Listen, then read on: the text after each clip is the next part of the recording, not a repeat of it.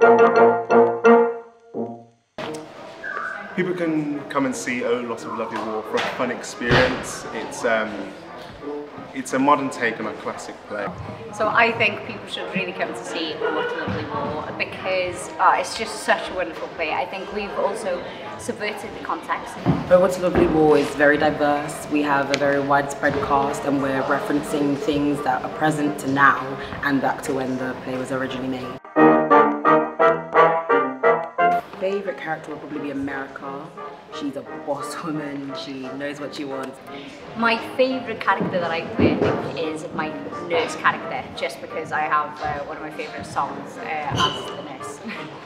Um, I think it has to be the MC, and it's a character that bounces off the audience quite well. So if you do come, you might see me interact with you. But yeah, it is.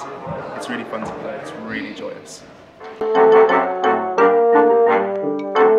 Energetic, Whiz bang, Thrilling good laugh. lovely. and exciting.